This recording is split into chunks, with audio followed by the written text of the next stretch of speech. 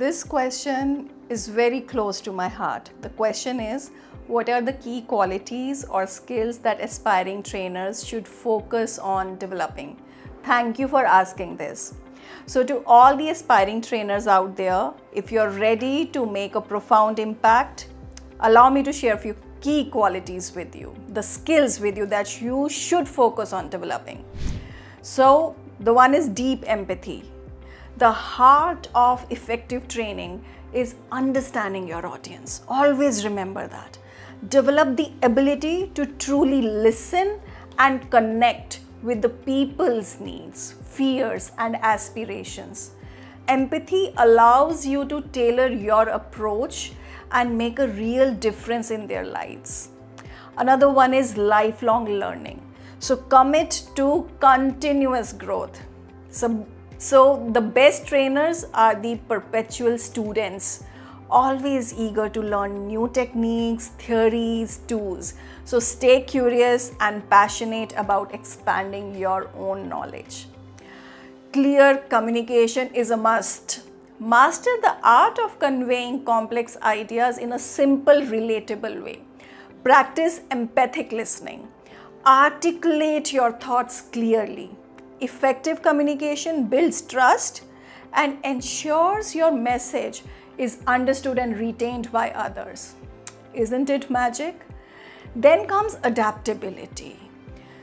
So, every audience is unique. Cultivate the flexibility to adjust your style and methods to meet the unique needs of each group you train. So, being adaptable ensures that you can handle any situation with grace and effectiveness. Another one is confidence. You have to believe in yourself and your message. Your confidence will inspire trust and motivate your audience. Your audience deserves that from you, right? Remember, confidence comes from preparation and experience. So, invest your time in mastering your content and delivery. Preparation plus practice, very important. Then comes engagement techniques. So, you need to learn how to captivate your audience. Use stories, uh, interactive activities, real life examples to make your sessions dynamic and memorable. So, an engaged uh, audience is more likely to absorb and apply what they have learned, right? So, this is a must. Patience and persistence. Growth takes time, remember that. So, be patient with yourself, be patient with your learners, and be patient with everything around you. Persistence in your efforts will yield the best results and will help you it will help you to overcome any challenges that you may face. Feedback receptiveness, this is very important. Welcome feedback as a tool for improvement. Sometimes it can be difficult, I understand, but still, okay, please be receptive to it.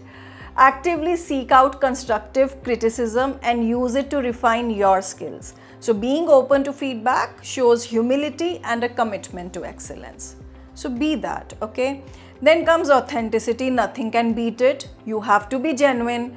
Authenticity builds trust and fosters deeper connections with your audience. Remember that always, okay? So let your true self shine through in your training sessions. You know, you have to be extremely genuine. So now when you focus on these qualities and skills, you will not only become an effective trainer, but you will also become a guiding light you know, of inspiration for those you teach. So you have to embrace this journey with passion, dedication, and you will create lasting, positive, transformational lives. And the world needs you. World needs your unique talents and perspectives.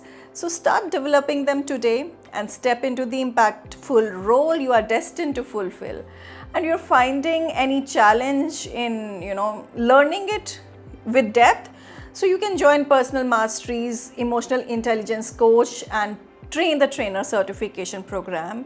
We'll teach you all that no one else will teach you. So yes, this is what we require as a trainer And thank you for asking this. I again loved answering this question. See you soon.